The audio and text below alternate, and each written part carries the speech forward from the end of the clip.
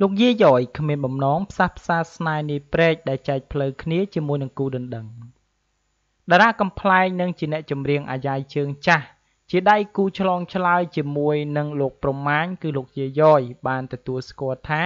ចំណងស្នេហាកូនប្រុសរបស់គាត់គឺនាយព្រែកនិងគូដណ្ដឹងកញ្ញាជាស្រីតីគឺពិតជាដើរដល់ផ្លូវបំបែកមែនហើយក៏ប៉ុន្តែអ្នកស្រីចាត់ទុកថានោះគឺជារឿងរបស់ក្មេងៗ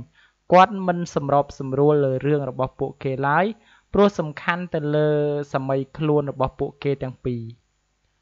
លោកជាយ៉យបាននិយាយតាមទូរស័ព្ទកាលពីថ្ងៃទី20ខែសីហាយ៉ាងខ្លីថាអូរឿងពួកគាត់បែកគ្នានឹងគឺបែកមែនគឺពិតជាបែកមែនហើយក៏ប៉ុន្តែខ្ញុំមិនដឹងអំពីមូលហេតុដែលធ្វើឲ្យពួកគេបែកគ្នានឹងទេនិយាយទៅរឿងហ្នឹងជារឿងរបស់ក្មេងៗអញ្ចឹងខ្ញុំ មិនដឹងនោះទេថាយ៉ាងម៉េចបានជាពួកគេបែកគ្នានឹង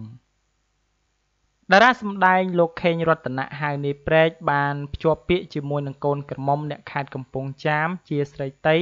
កាលពីថ្ងៃទី5ខែកញ្ញាឆ្នាំ2016ដោយខាងកូនក្រមុំបានបង្គាប់ថ្លៃទឹកដោះនៅទឹកប្រាក់ចំនួន10000ដុល្លារក្រោយពេលភ្ជាប់ពាក្យរួចជាញឹកញាប់គេឃើញនាយព្រែកតែងតែបង្ហាញនៅភាពផ្អែមល្ហែមជាមួយនឹងគូដណ្ដឹង តាមរយៈការដើរលេងតាមឆ្នេរសមុទ្រនិងប្រទេសជិតខាងក៏ប៉ុន្តែចំណងស្នេហាជាង3ឆ្នាំនេះមិនទាន់បានចូលរោងការផង មានការប្រេះឆាហើយថ្មីថ្មីនេះអតីតគូដណ្ដឹងរបស់នាយព្រែកកញ្ញាជាស្រីតីបានថ្លែងសារថា តាំងតែពីថ្ងៃដែលបងឈានជើងចេញមក រហូតមកទល់នឹងពេលនេះបងបានប្រាប់ខ្លួនឯងឲ្យទទួលយកជីវិតថ្មី គឺជីវិតម្នាក់ឯងបែបមានសេចក្តីសុខគ្រប់គ្រាន់ ដូច្នេះវាហួសនឹងសម្រួល ឬក៏លើកលែង ក៏មិនឲ្យខ្លួនឯងត្រឡប់ទៅរកកន្លែងឈឺចាប់មួយនោះតទៅទៀតដែរអូនចំណែកឯនាយព្រែកវិញបានថ្លែងសារទាំងក្តុកក្តួលតបទៅកាន់អតីតគូរណ្ដឹងថាកិត្តិយសនិងសេចក្តីថ្លៃថ្នូរ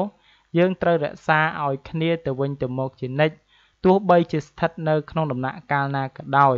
ជួបគ្នាជានិស្ស័យ មូលហេតុពិតគឺស្ថិតនៅចិត្តរក្សាទុកជាអាកំបាំងថ្វីត្បិតតែទាំងលោកយាយយ៉យនាយព្រែករួមជាមួយនឹងអតីតគូដណ្ដឹង មិនទម្លាយការពិតជុំវិញការដែលនាយព្រែក